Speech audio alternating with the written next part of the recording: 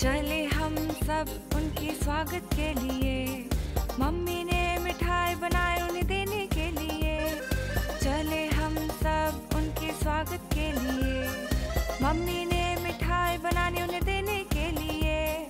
राम जी वापस आए हैं। दिवाली